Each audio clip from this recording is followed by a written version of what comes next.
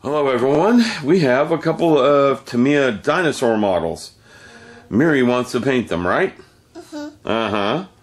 She wants to paint them. I bought them for that reason. They were cheap. I paid $10 for both on Amazon with shipping, and they came from Japan, of all, which really surprised me. So someone basically wanted to get rid of them because I paid nothing for them, including shipping. The Triceratops are what Miri would call dozer because she watches a TV show called War uh, Dinotrux. She calls it Roar Trucks. Um, is right here. There's not very many sprues to it. And there are separate directions. I fig- figured the directions would be on the back of the box. Sorry about the fingernails, but Miri painted them this morning, and I just let her paint them. The directions are pretty straightforward. I did not expect this to be a great kit due to the price of it. I'm gonna paint Okay. Yes, as soon as they're put together, you will get to paint them. Opening this. Because Miri is painting these. These are the Miri project today. I'm gonna paint. Well, uh, We have two sprue. The skin uh, could be textured better, but it is textured. Okay. That is something I didn't really expect too much of on this kit of this price. The horns are solid, which is good. The legs are two parts, which means nasty seamage when you go to fix that skin. Oh, that's going to be really hard to deal with. The head is two parts. That's going to be hard to fix too, if you want to do this model right. I want those. Okay, now here's an example of good skin detail. This is the Pegasus Models T-Rex. Okay? This is good skin detail. I just stalled out on time on him and never picked him back up because the tail right here was not fixing well. Everything else, I mean, the seam along these legs fixed beautifully. The arms, the mouth, the neck, everything fixed really well. I just stalled out on the tail. This is not the dinosaur. This is a dinosaur. Mm, this is a dinosaur. Uh, a big one. Right. All right. Now the other one is the Stegosaurus. It's what Miri would call a Garby. Did you realize this was Garby? No, that is Garby. Mhm. Uh huh. It's Garby. Where's Garby? You left him in the other room. Oh, okay. We'll go get him in a little bit. Uh-huh. Okay. Uh, Just look up Dinotrux if you don't know who Garby is. And Godzilla is up there. Yep. Godzilla is up there. Yes, he's like. All right. Now this one has better texture on the skin. This one is set. The seams are just going to be what kills you on this. All right. Well, I'm giving it to Miri to paint. I'm not worried about the seams too much. this is But this one is definitely better done than the other one. Much better done. Well, let me stop, put them together, and I will come back and show you the completed models. Then we'll let Miri do her thing, and we'll show you what she does with them. Okay? So I'm going to stop recording and start putting together so this one can paint. You want to paint, right? Uh huh. So I'll be back in a little bit. All right, everyone, we got the Stegosaurus half put together. It is giving me a few troubles with the seam. Ordinarily, on something this big, I would slowly glue it together along the seam. I'm going to have to reglue that tail. But the thing about it is the seams are going together fairly well. That could be sanded out. And when they designed the model, they designed it so the seams really aren't too terrible on it. Okay? Because if you look, a little bit of work, you could fill that seam out and blend it out. And it wouldn't be too bad, of course, as dinosaur models go. I'm not doing any of that because, well, little one's going to paint it fluorescent colors, and it's not going to look like a dinosaur anyhow. So there's no point on it. Also, if you squeeze it tight, you can see right here hmm? The shoot. this The, the shooter. she calls these shoots. you you can see that if you put a little bit of effort into it and you squeeze it good, it does leave a raised seam. So I'm I'm not disappointed in the kit. For what I paid for it, it, it seems to be an excellent little kit. I mean, how realistic is your dinosaur going to be? I don't know.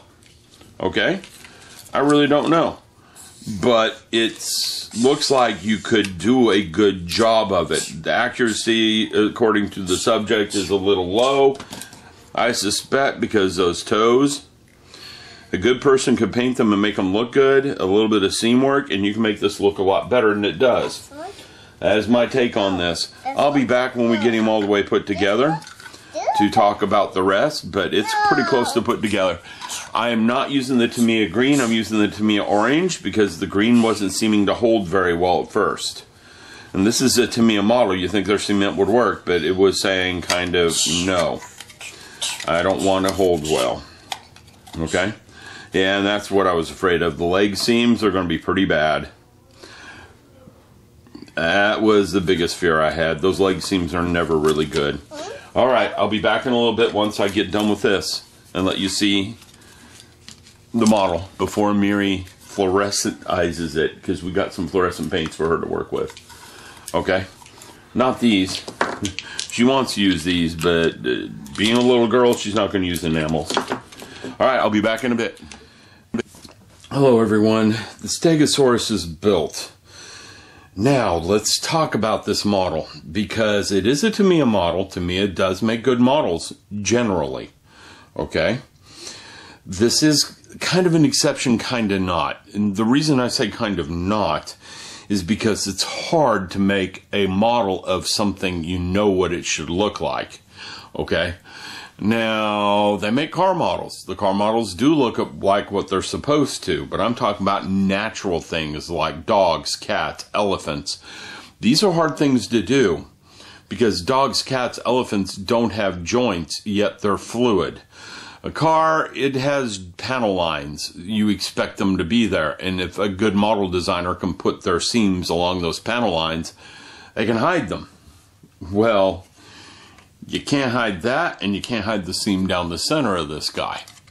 Okay? It's just really hard to do. Hopefully my camera is focusing today. There it goes. You can't hide that seam down the center.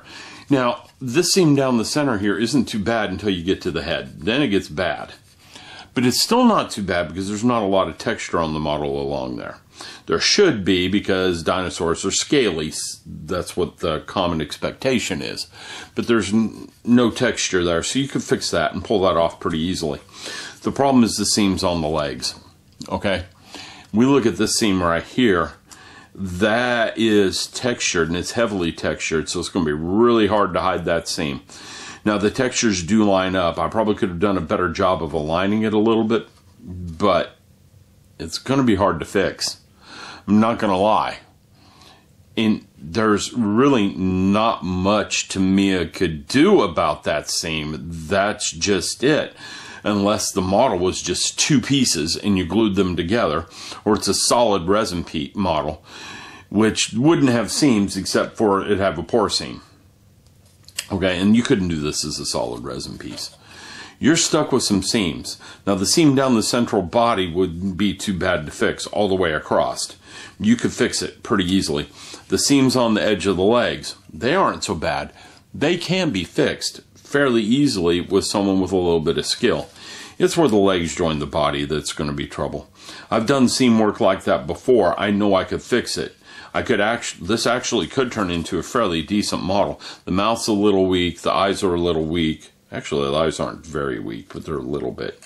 The mouth is definitely on the weak side. No texture around the head, and no texture down the center where the spine goes. That's because of that central um, joint for that body.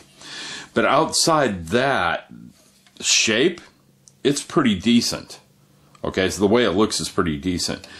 Uh, a skilled model builder with some paint and some good seam filling skills could probably turn this into a decent looking model. I really do believe that. Okay? But I'm turning it over to my three year old for painting this weekend because, well, she likes painting things like this, and I'm going to let her. So this was never intended to be a good model. Not for the price I paid for it either. I think I paid $4 for this with shipping from China. Okay? So it was pretty cheap. So I don't expect much out of it. Now, it's better than the Lindberg offerings they have by far. So it's not bad, but it's still not on par with what Pegasus Hobbies has. Okay? And I've shown this before and there are videos of this up to the point where I was when I quit working on it. But if you look at this guy, look at the texture on this. Everywhere, well textured. Okay? I do have a little bit of seam work right along. Well, actually, that line's supposed to be there, so I don't have any seam work there.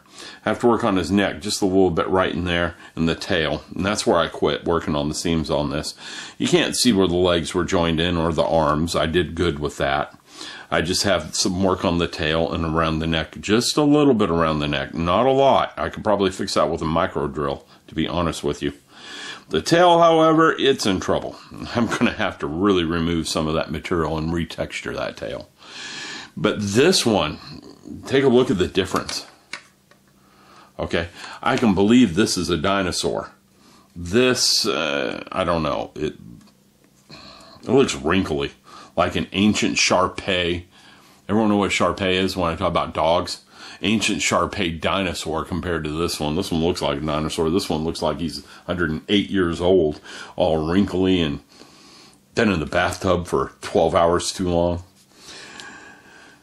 But again, for the price you paid for it and a little bit of work, you could make it look nice. So I'm not going to rate it as a bad dinosaur model, just not a good one.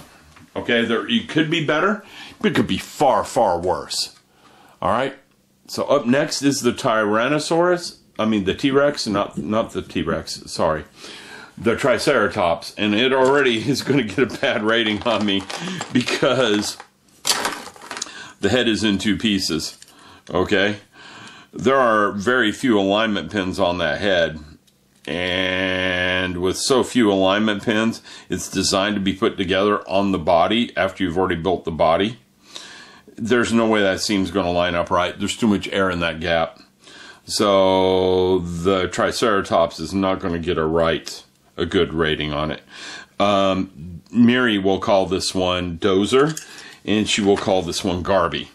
If you've ever watched Dinotrux, you'll know where she's getting the names from. She watches Dinotrux. Okay? She carries around little toy versions of Dinotrux, along with Godzilla's. She's a weird girl. And Minnie Mouse and Barbies. Okay, definitely a girl, no doubt there. Just got some strange ideas on things. That's probably my fault, to be honest. All right. I hope you enjoyed. I'll be back soon.